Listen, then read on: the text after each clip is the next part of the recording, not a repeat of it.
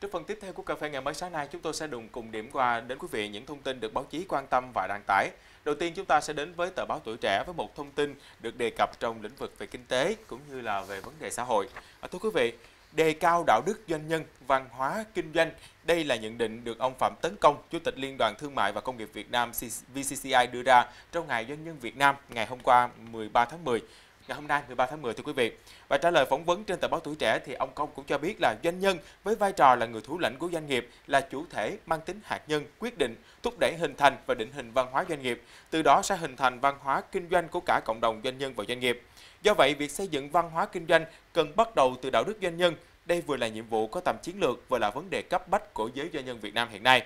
Với vai trò là cơ quan đại diện cho cộng đồng doanh nghiệp, doanh nhân cả nước, VCCI đã đồng hành cùng với các hiệp hội doanh nghiệp để vận động, hướng dẫn các doanh nghiệp, doanh nhân trong việc xây dựng đạo đức doanh nhân và văn hóa kinh doanh tại Việt Nam. VCCI nhìn thấy vấn đề đã xây dựng đạo đức doanh nhân văn hóa kinh doanh là vấn đề lớn. Doanh nhân cần phải thực hiện trước, nhưng một mình doanh nhân làm thì chưa đủ, cần phải có cả hệ thống tham gia vì còn liên quan đến thể chế, pháp luật, văn hóa tiêu dùng, văn hóa ứng xử trong kinh doanh, văn hóa truyền thông về kinh doanh.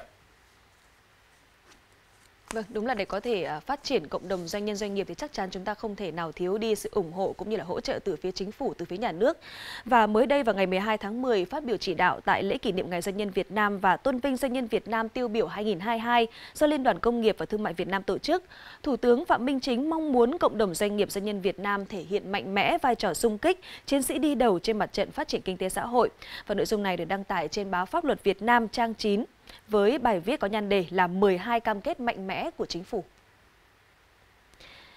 Chính phủ trước hết sẽ tiếp tục đổi mới phong cách lề lối điều hành, chỉ đạo tổ chức thực hiện đi đôi với xây dựng bộ máy hoạt động tinh gọn, hiệu lực, hiệu quả, phục vụ tốt nhất cho người dân, doanh nghiệp và sự phát triển kinh tế xã hội của đất nước. Xây dựng môi trường kinh doanh lành mạnh, công bằng, khuyến khích phát triển và đổi mới sáng tạo, Thứ hai là tiếp tục ưu tiên giữ vững ổn định kinh tế vĩ mô, kiểm soát lạm phát, thúc đẩy tăng trưởng, đảm bảo các cân đối lớn của nền kinh tế. Thứ ba, điều hành lãi suất tỷ giá phù hợp, đảm bảo tăng tín dụng hợp lý và hiệu quả, tập trung cho sản xuất kinh doanh, nhất là các lĩnh vực ưu tiên. Thứ tư là tiếp tục đẩy mạnh công nghiệp hóa, hiện đại hóa, cùng xây dựng nền kinh tế độc lập tự chủ, gắn với hội nhập kinh tế quốc tế toàn diện, sâu rộng, thực chất và hiệu quả. Năm, tiếp tục xây dựng hoàn thiện thể chế, cơ chế, chính sách phù hợp với bối cảnh tình hình mới, loại bỏ những quy định không còn phù hợp đặc biệt là tháo gỡ những điểm nghẽn có thể ảnh hưởng tới hoạt động, phát triển của doanh nghiệp doanh nhân. Và còn rất nhiều điều nữa liên quan tới 12 cam kết mạnh mẽ của chính phủ với cộng đồng doanh nhân doanh nghiệp. Quý vị khán giả có thể tìm đọc cụ thể trên báo Pháp luật Việt Nam, bài viết đăng tải trên trang 9 số ra sáng nay. Vâng, cũng liên quan đến công tác doanh nghiệp trong những ngày này, trên báo Lao động cũng có một thông tin rất đáng chú ý. Những tháng cuối năm, nhiều doanh nghiệp đã tăng tốc bắt đầu câu chuyện về tuyển dụng lao động. Các chuyên gia dự báo lĩnh vực dịch vụ, công nghệ thông tin, ngân hàng, logistics sẽ có nhu cầu cao về thị trường nhân sự. Phản ánh nội dung này, tờ Lao động có bài viết trên trang 5. Thị trường lao động khởi sắc cung ứng kịp thời nhân lực cho doanh nghiệp. Bài viết trích dẫn ý kiến của ông Lê Quang Trung là nguyên Phó Cục trưởng phụ trách việc làm Bộ Lao động Thương binh và Xã hội cho biết, trong những tháng cuối năm nay, chúng ta hết sức phấn khởi với thị trường lao động Việt Nam. Với tốc độ tăng trưởng phục hồi kinh tế sẽ làm cho thị trường lao động trở nên sôi động hơn. Nhu cầu tuyển dụng lớn, đặc biệt ở những vùng kinh tế trọng điểm của cả nước. Chuyên gia này cho rằng những ngành nghề sẽ khác lao động tập trung vào lĩnh vực dịch vụ, gia công, chế biến, công nghệ thông tin, tài chính, ngân hàng, logistics. Nhóm ngành nghề nổi lên chăm sóc sức khỏe, làm đẹp, giáo dục đào tạo, y tế. Đặc biệt doanh nghiệp có nhu cầu về lao động qua đào tạo lớn hơn là trình độ phổ thông. Trước nhiều doanh nghiệp kêu khó tuyển dụng, các chuyên gia cho rằng công tác quy hoạch bố trí doanh nghiệp cần phải được phân bổ đều ở các địa phương. Như vậy thì doanh nghiệp sẽ cung ứng việc làm đến chân người lao động. Bên cạnh đó cần đẩy mạnh công tác đào tạo, hướng nghiệp cho người lao động từ khi học phổ thông. Do những ảnh hưởng của đại dịch Covid-19 trong hơn 2 năm vừa qua đã liên quan tới kinh tế tài chính của rất nhiều hộ gia đình. Chính vì thế mà nhiều người đã dừng đóng bảo hiểm xã hội bắt buộc hoặc là có thể rút tiền bảo hiểm xã hội một lần. Và điều này về lâu dài thì không chỉ là ảnh hưởng tới sinh kế của chính người lao động mà còn có thể gây ra những tình trạng bất ổn về an sinh xã hội trên cả nước. Mới đây thì Giám đốc Bảo hiểm xã hội tỉnh Đồng Nai Phạm Minh Thành cho biết là mặc dù tỷ lệ người tham gia đóng bảo hiểm xã hội bắt buộc đã bắt đầu phục hồi, thế nhưng tổng số người tham gia bảo hiểm xã hội, bảo hiểm y tế trên địa bàn vẫn thấp hơn 52,6 ngàn người so với thời điểm cuối năm 2021. Để hoàn thành kế hoạch năm nay thì Bảo hiểm xã hội tỉnh sẽ phải phấn đấu phát triển thêm hơn 234,5 ngàn người tham gia bảo hiểm xã hội, bảo hiểm y tế. Nội dung này được phản ánh trên trang 7 báo đã đoàn kết số ra sáng nay.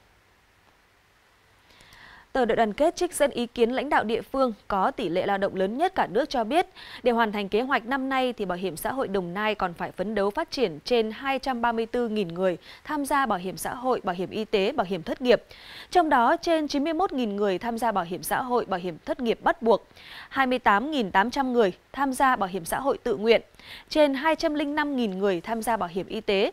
Đây là nhiệm vụ hết sức khó khăn nếu không có sự vào cuộc tích cực của các cấp ngành địa phương. Để chính sách bảo hiểm xã hội, bảo hiểm y tế thực sự vào đời sống, một số sáng kiến đã được đề ra như là à, lưu ý quyết liệt xử lý vấn đề nợ bảo hiểm xã hội, bảo hiểm y tế vì vấn đề này ảnh hưởng rất lớn tới quyền lợi của người lao động và tình hình an ninh trật tự trên địa bàn tỉnh. Bên cạnh đó, thì ngành bảo hiểm xã hội phối hợp tốt với ngành công an trong việc hoàn thiện cơ sở dữ liệu quốc gia theo đề án 06 của chính phủ.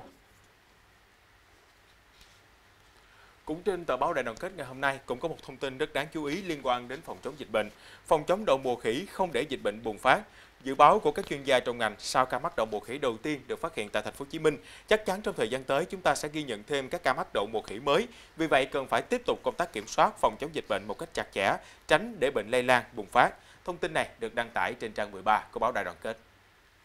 Bài viết trích dẫn ý kiến của bà Lê Hồng Nga là Phó Giám đốc HCDC thì khẳng định, với mức độ giao lưu tiếp xúc như hiện nay, việc xuất hiện ca bệnh xâm nhập nữa hoàn toàn có thể xảy ra. Chính vì vậy, hệ thống giám sát cần phải được tăng cường, củng cố một cách chặt chẽ, từ việc giám sát tại sân bay, tất cả các phòng khám cơ sở y tế. Theo các chuyên gia trong ngành, phải tiếp tục kiểm soát tránh dịch bệnh lây lan, bùng phát hoặc lưu hành như một số bệnh truyền nhiễm khác. Khả năng lây nhiễm trong nước không nhiều nhưng vẫn phải làm tốt. Nếu như ít ca mắc và đang kiểm soát được thì phải ngăn chặn một cách triệt để. Bàn về giải pháp phòng chống bệnh đậu mùa khỉ, ông Nguyễn Hữu Hưng là Phó Giám đốc Sở Y tế Thành phố Hồ Chí Minh cho biết, từ việc phát hiện kịp thời ca đầu tiên mắc đậu mùa khỉ, ngành y tế thành phố tin tưởng vào sự cảnh giác của đội ngũ y bác sĩ để có thể chẩn đoán chính xác, hạn chế thấp nhất mức độ lây lan ra cộng đồng. Nhờ việc phát hiện sớm ca đầu tiên mắc đậu mùa khỉ, đến nay những người có tiếp xúc gần kể cả nhân viên y tế cũng như người nhà bệnh nhân đều chưa có biểu hiện lâm sàng.